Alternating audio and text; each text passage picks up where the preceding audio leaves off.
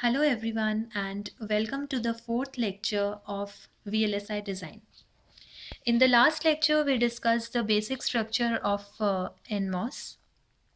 In today's lecture first of all we will discuss the uh, some of the gate questions which were asked on this concept. Generally the general terminology is asked for MOSFET. So MOSFET can also be known as the voltage controlled capacitor or a voltage controlled current source voltage current uh, controlled capacitor you can see this is a metal plate. This is a metal plate and this can be assumed as a semiconductor plate.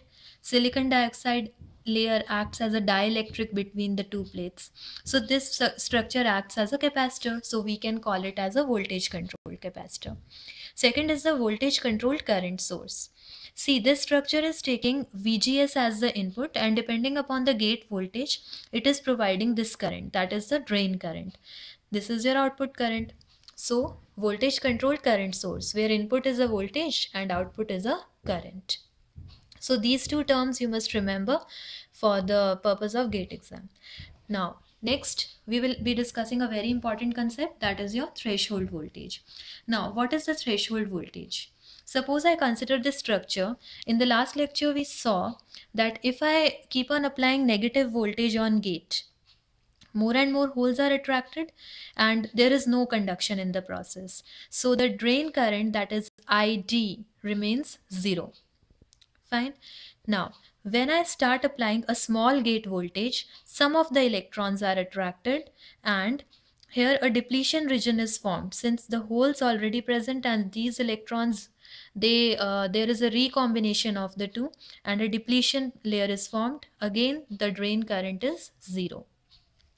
Now when a higher level a positive large voltage is applied on the gate uh, a very very large number of electrons come here and they will now contribute to the formation of a channel between the drain and the source that is the n channel will be formed and there is a conduction process so id will be existing now so what is Vt here?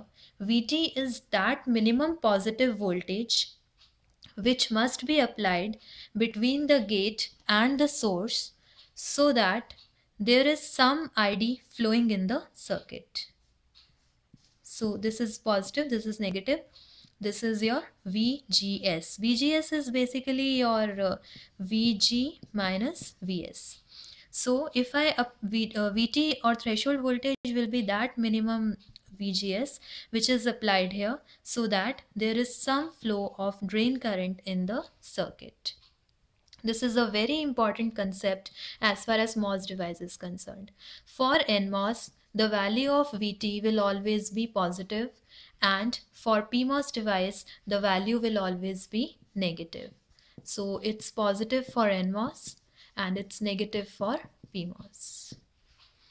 So uh, you must remember the threshold voltage. It's really important as far as gate is concerned.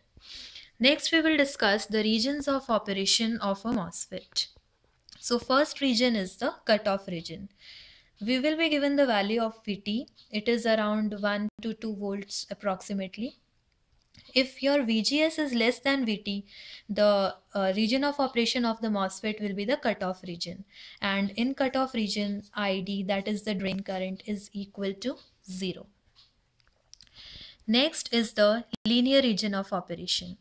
When our VGS is greater than VT, and the second condition which is to be fulfilled is that the VDS. Now what is VDS? VDS is the VD that is drain voltage minus the source voltage. If and VDS is less than VGS minus VT then the device will be operating in the linear region. And the third region of operation is the saturation region.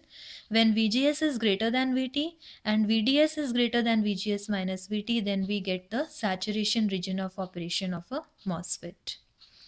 Let's see the drain current equation. This is the drain current equation in the saturation region. This equation is valid only for the saturation region of MOSFET. ID is the drain current is equal to K, a constant is uh, into VGS minus VT whole square. In the next video, we'll do some numericals and gate questions based on these topics. Thank you for listening patiently.